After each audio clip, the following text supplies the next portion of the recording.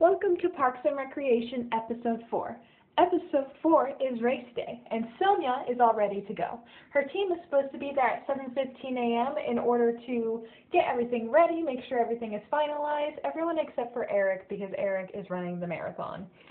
So everyone is there, Sonia, Russ, and Owen, but they realize, surprisingly, that Alex is missing. They don't know where he is, and he's a crucial part of the race. So they decide to brainstorm and come up with an idea of how to make everything work. Luckily for them, they realize that they have all the people that they need, and everything starts to run smoothly. Russ runs the check-in, Owen runs all the water things, and Sonia goes through and just makes sure everything, everybody has everything they need.